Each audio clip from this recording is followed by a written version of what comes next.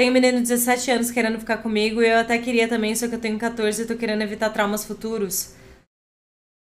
Realmente, eu quando tinha 14 tava envolvida com um cara de 17 deu muito problema. Cada caso é um caso, mas para mim minha experiência não foi boa. Tipo, 17 anos é muito diferente de 14. Quando você tem 14, você acha que sua cabeça é igual a alguém que tem 17. Mas quando você faz 17, você fala, mano. É inviável pensar com uma cabeça de 14, sabe?